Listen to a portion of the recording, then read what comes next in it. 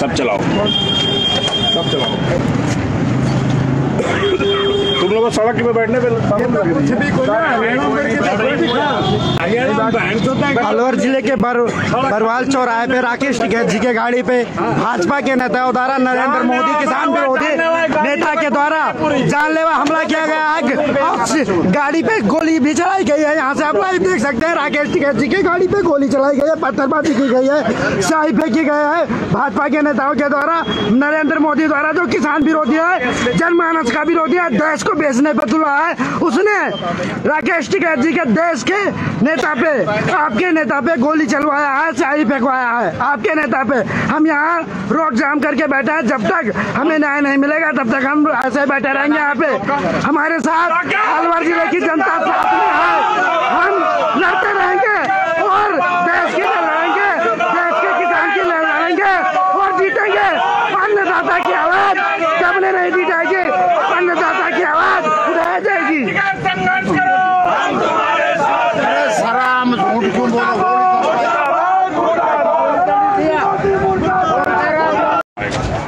जी पूछ लियो लाइट चलानी बाद में सब चलाओ। सब चलाओ। तुम लोग सड़क पे बैठने पे कुछ भी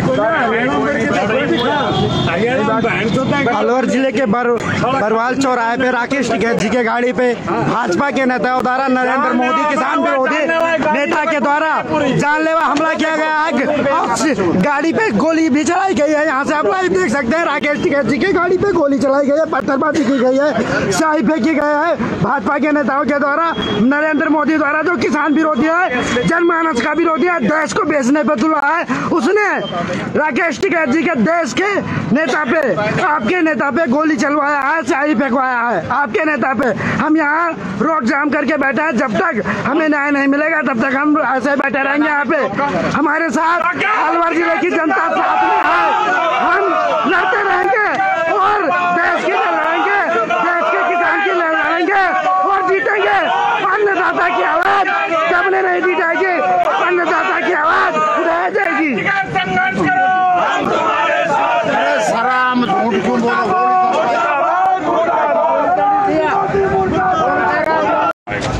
को ये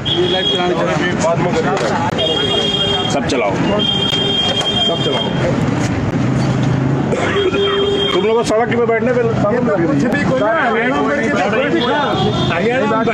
अलवर ज़िले के बर, बरवाल चौराहे पे राकेश टिकैत जी के गाड़ी पे भाजपा के नेता द्वारा नरेंद्र मोदी किसान विरोधी नेता के द्वारा जानलेवा हमला किया गया। है गाड़ी पे गोली भी चलाई गई है। यहाँ से आप लाइव देख सकते हैं राकेश टिकैत जी की गाड़ी पे गोली चलाई गई है पत्थरबाजी की गई है शाही फेंकी गया है। भाजपा के नेताओं के द्वारा नरेंद्र मोदी द्वारा जो किसान विरोधी है जनमानस का विरोधी है देश को बेचने पे तुला है। उसने राकेश टिकैत जी के देश के नेता पे आपके नेता पे गोली चलवाया है शाही फेंकवाया है। आपके नेता पे।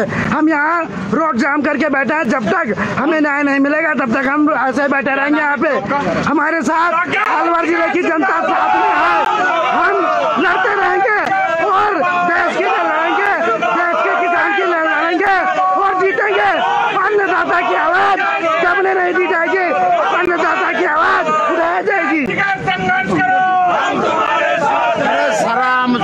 Wow.